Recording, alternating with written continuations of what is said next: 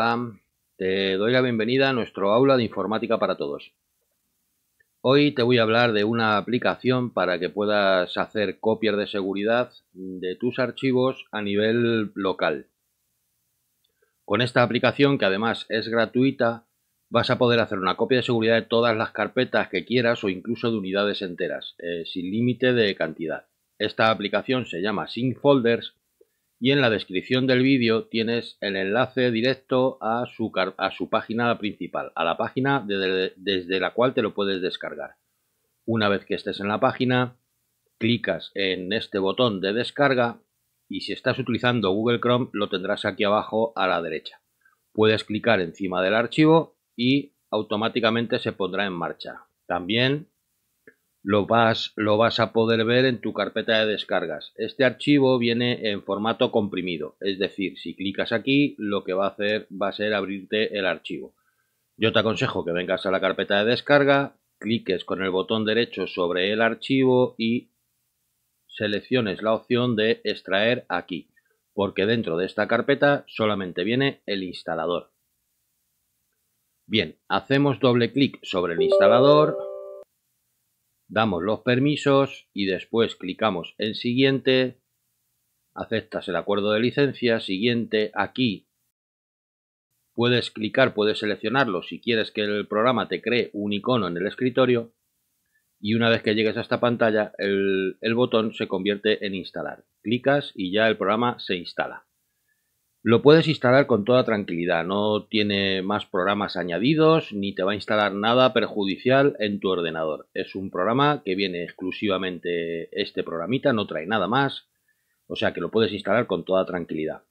Una vez llegados a este punto, cuando cliques en finalizar, se ejecutará el programa. Aquí como ves yo ya tengo algunas reglas creadas, te voy a enseñar cómo se crean estas reglas para que el programa te haga las copias de seguridad. Crear una regla es un procedimiento bastante sencillo. Eh, aquí en esta barrita superior tienes el primer botón que tienes, el primer icono, es el de crear regla. Haces un clic sobre él y se te abre esta ventana. El número de la regla te lo va a dar el programa automáticamente. Carpeta de origen es la carpeta de la que tú quieres guardar todo el contenido. Yo en este caso, por ejemplo, voy a seleccionar documentos y le doy a aceptar y la carpeta de destino es donde quieres que el programa haga la copia de seguridad de la carpeta origen, es decir, donde vuelque todo el contenido de esta carpeta en una copia para que puedas tener una copia de seguridad. Un consejo a tener en cuenta. La carpeta documentos por defecto viene en el disco C. Yo la tengo en el disco D porque la he cambiado de ubicación, pero por defecto viene en el disco C. Si únicamente tienes un disco en el ordenador, este procedimiento te va a servir de poco, porque sí, puedes hacer una copia de seguridad, pero si se te avería el disco, si tienes un fallo en el ordenador y hay que formatearlo, si no se puede acceder al disco para recuperar los archivos, te da igual. Es decir, lo aconsejable y lo lógico es tener la copia de seguridad en otra unidad distinta, en otra ubicación. Yo, por ejemplo, tengo un disco específico para las copias Aquí tengo una carpeta de documentos porque el programa es una de las copias que me hace. Clicamos en aceptar y como ves, la primera letra nos dice la unidad donde está ubicada cada carpeta. Es importantísimo o imprescindible prácticamente que las unidades sean distintas por lo que te digo. Si tienes que formatear el ordenador y lo tienes en el mismo disco duro o se te avería el disco duro directamente, pues no te va a servir de nada la copia de seguridad, porque si sabería, sabería todo, los archivos principales y la copia de seguridad. La, la, opción de incluir sus carpetas déjala seleccionada para que te guarde todo el contenido de la carpeta. O sea que esto pasa por alto porque esto viene seleccionado por defecto. Lo siguiente, ¿qué tipo de acción queremos que el, el programa lleve a cabo? Te da tres opciones distintas. La primera de copiar. Todos los archivos nuevos que tú crees en la carpeta de origen y los que modifiques se copiarán a la carpeta de destino, pero el programa no te va a eliminar nada que tú elimines en la carpeta de origen. Si tú eliminas un archivo en la carpeta de origen, ese archivo va a seguir en la carpeta de destino, hasta que tú lo elimines manualmente. La segunda opción de copia de seguridad. Esta hace una copia exacta del contenido de esta carpeta en la carpeta de destino. Todo lo que elimines en la carpeta de origen se eliminará en la carpeta de destino. ¿Vale? O sea, te va a modificar todo lo que tú modifiques, te lo va a modificar y todo lo que elimines te lo va a eliminar. Te va a dejar la carpeta de destino exactamente igual que la de origen. Y por último, la sincronización bidireccional. Esto significa que puedes trabajar en cualquiera de las dos carpetas de forma indistinta, que el programa cuando tú lo ejecutes va a crear una copia de las, últimas modificaciones y los archivos nuevos que hayas creado, independientemente de en qué carpeta de las dos lo hayas hecho. Esto viene bien para llevar una carpeta en un pendrive, por ejemplo, de un ordenador a otro con archivos al ejecutar el programa. Te va a hacer la copia con los últimos archivos, las últimas modificaciones o los archivos nuevos que hayas creado en esa segunda carpeta. La siguiente pestaña que tenemos es la de filtros. Aquí lo único que creo que nos interesa es la última opción, omitir sus carpetas específicas. Si quieres, por ejemplo, eh, por defecto como ven, no se omite nada, te, te hace copia de seguridad de todo. Pero si clicas en la frase, se te va a abrir esta ventana. Si por ejemplo no quieres que se haga copia de seguridad de la carpeta esta de Adobe, pues la deseleccionas de aquí y el programa la, saltará por encima, la, ignorará. No va a hacer copia de seguridad de esta carpeta. Siguiente pestaña, la de comparación. Eh, te aconsejo que dejes seleccionado esto, que compare archivos por tiempo y tamaño. Así de esta forma te aseguras de que siempre vas a tener las últimas versiones de cada archivo, todas las últimas modificaciones que hagas. Como va a cambiar el tiempo de modificación, eh, el sistema Windows lo va a cambiar, el programa lo va a detectar y te va a hacer la copia de, la última modificación, del último archivo que hayas modificado, de la última versión. De aquí las demás opciones te aconsejo que las dejes eh, como están. Versiones. Esto también puede ser importante. Por defecto, como ves, eh, viene seleccionado la opción de mover archivos a la subcarpeta fechada dentro de la carpeta historia.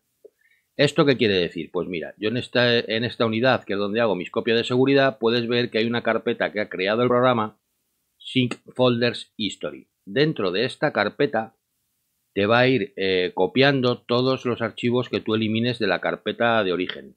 Como te decía antes, si utilizas la copia de seguridad o la sincronización bidireccional, si utilizas la copia no, porque los archivos eliminados los ignora. Pero si utilizas la opción de copia de seguridad, cuando tú elimines algo en la carpeta de origen, vas a ver que se ha eliminado en la carpeta de destino, pero realmente el programa no lo elimina. El programa lo vuelca en una carpeta con la fecha del día de la eliminación, vuelca ese archivo aquí dentro.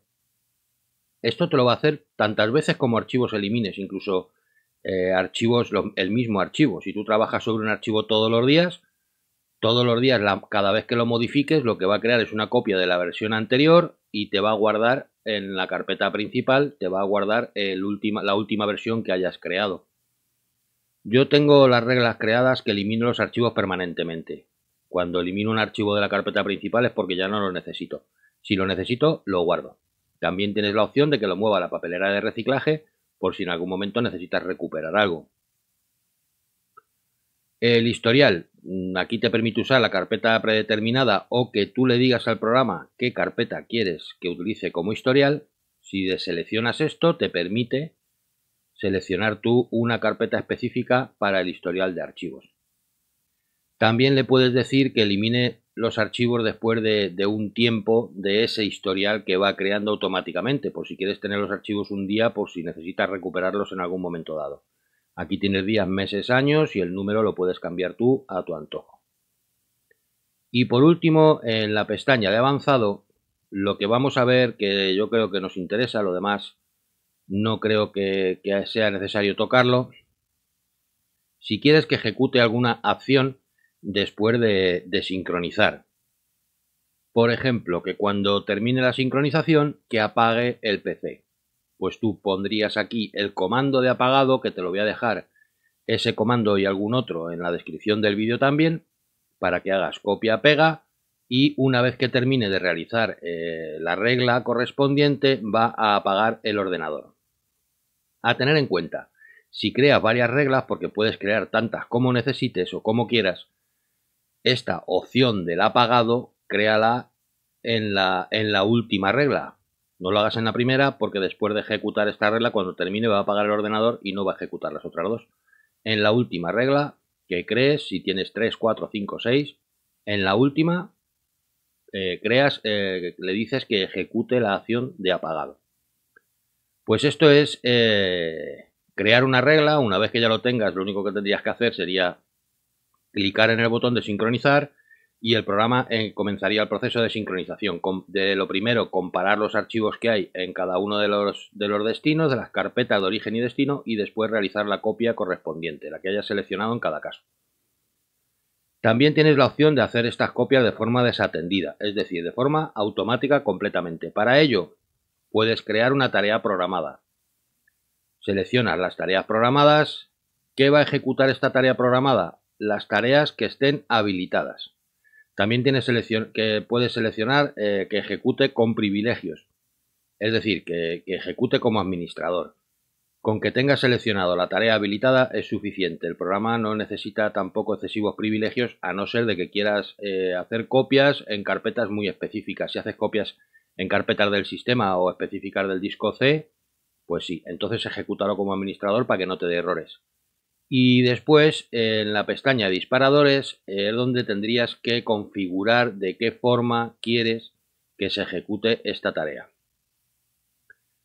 En configuración las opciones que te da por efecto son ejecutar en el inicio de sesión, algo que para mí particularmente pues no es práctico porque al encender el ordenador no quiero que se ejecute la tarea, quiero que se ejecute en todo caso cuando lo apague o antes de apagarlo.